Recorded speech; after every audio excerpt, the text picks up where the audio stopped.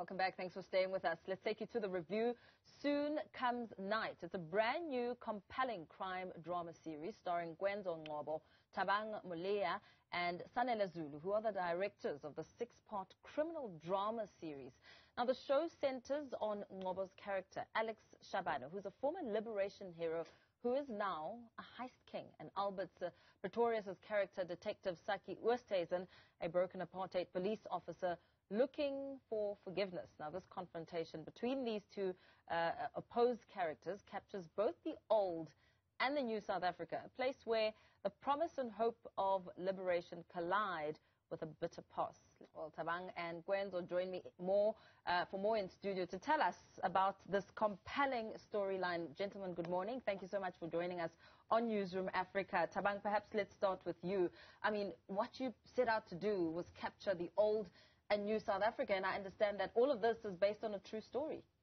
It is. Thank you for having us. I'm very excited about the opportunity to be on the show and talk about this series. Uh, it is inspired by a true story, um, the, tr the, story of uh, Colin Chauke. Um, and we, we drew some inspiration from what happened to him. We also drew some inspiration to, from what happened to MK soldiers um, that were fighting for liberation and then woke up one day to hear that we have freedom. Um, so there's a story behind those soldiers. There's a story about people that, that came home in the belief that there was a promise.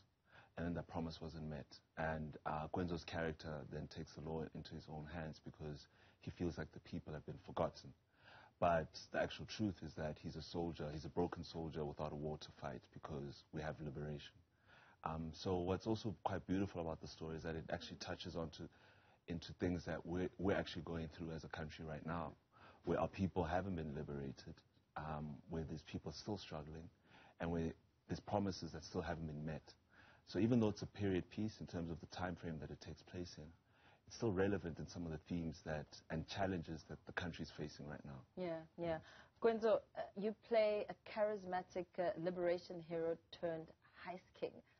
I mean, what is that about? I mean, your role is so dominant and powerful. Talk to us about it. Um, well, uh, I've got a lot of help from T-Bag and Sanel as well, directors, to like help me navigate uh, through the life of Alex Shabani. Um, I've watched a lot of um, MK videos on YouTube, doing my own research as well, and I've watched uh, Chris Hani's interviews a lot. So there were some inspirations that are elements that I took from Chris Hani as well. Mm -hmm. So I think that helped me to um, create Alex Shabane. Wow. Mm -hmm. And the, the, the cast in itself, star-studded. I mean, that selection process in terms of like depicting the past and right making it relevant today. How was that uh, selection criteria? What did you have to consider as you put everyone in the different roles? So, you know, it is an ensemble cast of, re of really professional and really amazing actors who have a long history in the industry. Um, for us, it was very important that people saw a reflection of themselves. Um, some characters are typecast. Um, Kwenzo's um, Alex Shabane's one girlfriend, uh, played by Dippy, is slightly over the top, but also quite charismatic.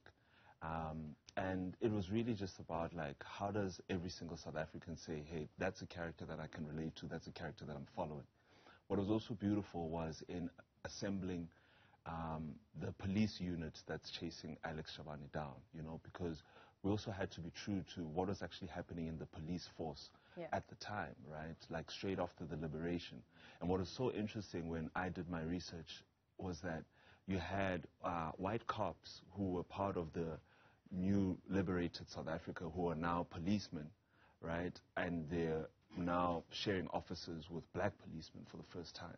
So there was that integration, and there were also the, those dynamics of different racial um, politics that were taking place within a system that is a police unit. Um, so that was fun to find those characters and find those actors for those roles. And then obviously there's uh, Alex Shabane's team, right? So it's the other, I call them the fallen MKs, the mm-hmm. forgotten MKs. Um, and it was just really about creating a very dynamic uh, team of individuals that are led by Kwenzo's character. Kwenzo, I mean, you talk about your preparation process and how you had to sort of get yourself in this character. But in your character, you're out to prove a point. Talk to us about some of the intricacies and the thought processes in conveying this powerful message that you're trying to, to convey. uh, it's funny because um, when I was shooting some of the scenes, I, I don't remember um, doing those scenes, um, of which it's very scary. I don't, I, I, I, I don't know what happened, but it it really helps with the process that I have in, in terms of like making sure that I go um, do my own research as well as, a, as, as, an actor um, approaching this kind of a role. And uh, there was a lot of information that I've got that helped me to create um, this character, you know. So I, I, think some of the things happened, uh, that, things that I did, I didn't notice mm -hmm. that I was doing. So I don't know. I just got But who are you process. as a character? I mean, you're described as charismatic and dramatic. Me as Kwenzo? As a, no, as a character, yeah. Um, well, I'm, I'm, an introvert. Yeah, as Kwenzo, I'm an introvert. But as Alex Shabane, uh, it's, it's, uh, he's a different beast uh, on his own. like Coming out of your shell, I mean, you say you're an introvert. I mean, as you and I speak, I can see that you, you know, cool kind of chilled kind of guy. How did this character come out of you? And who is this character? Alex Shabane is,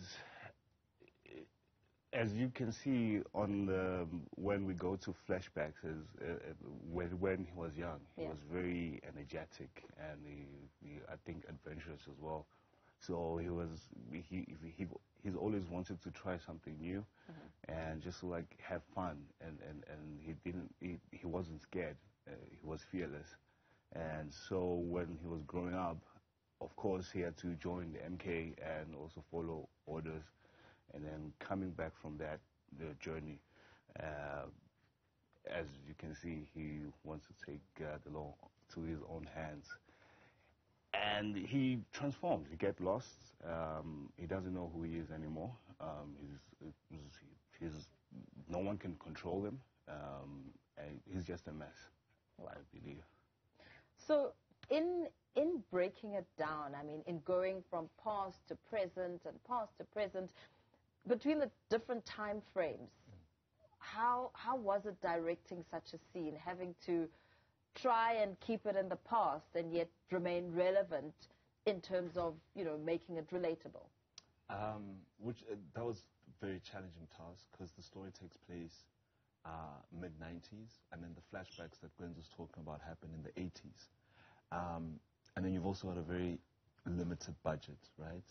And so, as a director and creatively, we just we really had to think about ways that we could maximize and we could be very true to the time period um, so that people watching from those times would say, yes, those are the cars we drove. Yes, those are the, those are the clothes that we wore. That's the music that we were listening to. Um, I think Soon Comes Night has a really beautiful way of encompassing all those elements.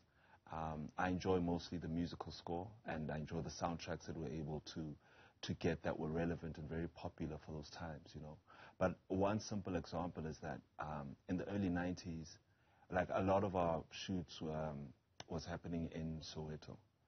So as a director, I couldn't see uh, shooting for the 80s and, and mid 90s. I was very limited in how wide I could shoot the township. Yeah.